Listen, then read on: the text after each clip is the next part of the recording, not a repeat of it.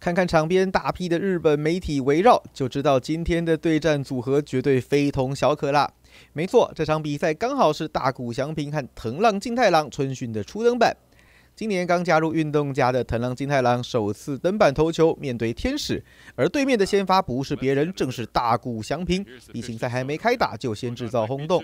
第二局因为三次保送造成满垒危机，不过藤浪什么大风大浪没见过，用三振和双杀安全下庄，在惊涛骇浪之下，主投两局送出三次三振三个保送，完成大联盟处女秀。至于大谷翔平，今天只上场投球，没有打击，而且他在春训投完这场比赛之后，马上就要飞往东京和日本队会合，因此想在春训基地目睹大谷风采的球迷，这可能是唯一一次机会喽。今天欧塔尼桑的球路依然犀利，主投二点一局，两次三振，两次四坏，